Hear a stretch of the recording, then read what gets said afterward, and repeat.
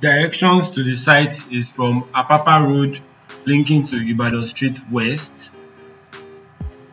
You drive about two kilometers from Costain Roundabout, Ibadan Street West, then you head to Joseph Lambo Street. It is number 15 Joseph Lambo Street. So this is the approach of the building, side of the building.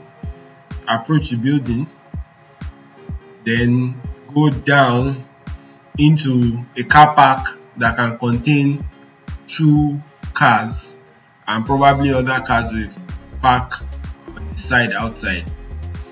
Then this is the two bedroom flat on the ground floor.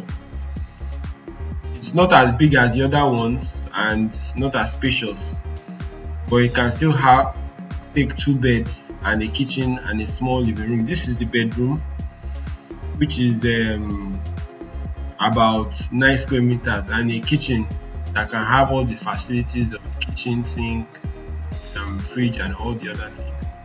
This is back to the living room small living room.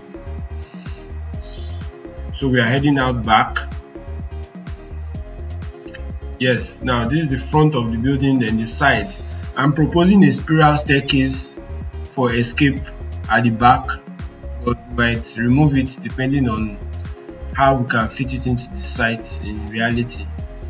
So heading back into the building, we are going up to the first floor.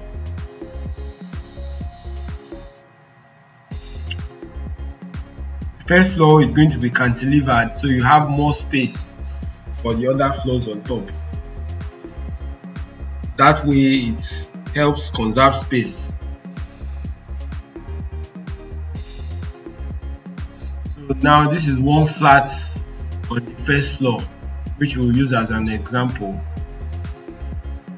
The flat can take a proper settee of three seater, one seater and another one seater and can be properly arranged. Then we are heading to the master bedroom which is the biggest room which is over 10 square meters can take the bed and a full long wardrobe inside the room which is adequate for the purpose. They also have a kitchen which can lead to the back door, that's the back door at the corner there and have a toilet that is going to be shared with the two rooms.